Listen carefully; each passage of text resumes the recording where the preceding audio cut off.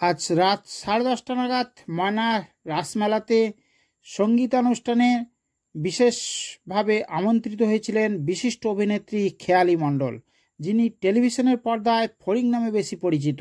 মেলা কমিটির পক্ষ থেকে এগারোটা নাগাদ তাকে ফুলের তোড়া দিয়ে সম্বর্ধনা জ্ঞাপন করা হয়। ময়না রাজপরিবারের সদস্য তথা মেলা কমিটির সম্পাদক স্বরূপা বাহুবলীন্দ্র তাকে ফুলের তোড়া দিয়ে বরণ করে নেন। রাসমেলার বিখ্যাত মিষ্টান্ন উপহার দেন মেলা কমিটির সদস্যা সুমিত্রা মাইতি।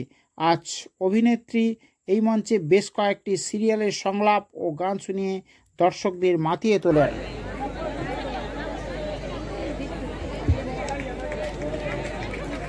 ফুলের তোড়া দিয়ে পুষ্পস্তবক দিয়ে অভিনেত্রীকে যথাযোগ্য প্রীতি, শুভেচ্ছা ও অভিনন্দন জ্ঞাপন করবেন আমাদের ময়না রাসমেলা কমিটির সম্পাদক মহাশয় এবং ময়না রাজগড়ের সেবায়িত রাজ পরিবারের মাননীয় স্বরূপানন্দ বাহুবলীন্দ্র মহোদয়। রাসমেলা কমিটির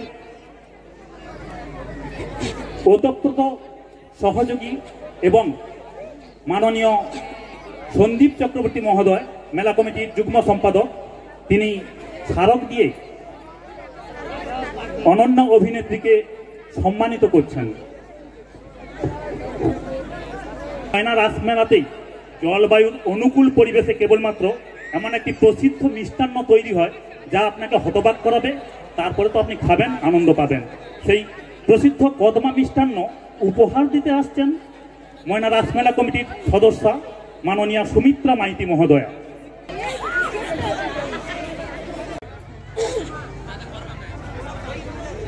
এটা আপনি কি করলেন, অর্জুন?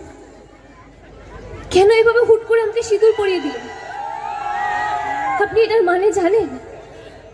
আপনি তো আমার গার্জিয়ান এঞ্জেল ছিলেন। আমি ভেবেছিলাম আমার মা বোধহয় আপনাকে আমার কাছে পাঠিয়ে দিয়েছে যাতে আমি ঠিক থাকি, আমি ভালো থাকতে পারি। কিন্তু আপনি আমার এঞ্জেল থেকে হাজব্যান্ড হয়ে গেলেন, অর্জুন। আপনি আপনি বুঝতে পারছেন না, এটা কোনো খেলা নয়। আমি কি, আমি বাড়ি গিয়ে কি বলব? রাহুলকে কি বলব? আপনি ভাবতে পারছেন রাহুলের অবস্থা? আমি জানি, আমি বুঝতে পেরেছি মানুষটা আমার জন্য ঠিক নয়, কিন্তু অর্জুন কাউকে ভালোবাসাটা তো ওভাবে হয় না। এটা তো লাইটের সুইচ নয় যে অফ করলাম অফ হয়ে গেল অন করলাম অন করে দিলাম। এভাবে তো হয় না। আমি রাহুলের সামনে কীভাবে দাঁড়াবো? আপনি পারবেন?